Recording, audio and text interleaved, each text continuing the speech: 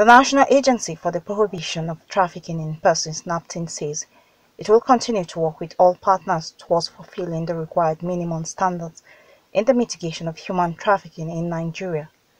The Director General of the agency, Bashir Mohammed, in a message during a joint news conference with relevant stakeholders ahead of the 2021 World Day Against Human Trafficking in Nigeria, explained that though Nigeria has now been upgraded to the Tier 2 list in the just released US 2021 TIP report, the agency has commenced clinical diagnosis of the report to determine areas of improvement. The agency has continued to rescue, counsel, rehabilitate, and empower victims of human trafficking in line with its mandate.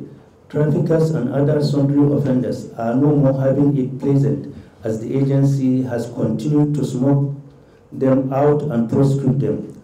As at the last count, over 550 traffickers have been jailed, with many cases at various prosecution stages in courts across the country. Over 17,000 victims have been rescued and a good number of them trained. Representatives of both United Nations Office on Drug and Crimes, UNODC, and the International and Ibero-American Foundation for Administration and Public Policy said they will continue to support the Nigerian government to step up investigative capacity in order to track human trafficking offenders in the country. I wish to state here that uh, FIAB wishes to encourage the agency, notwithstanding the support from partners.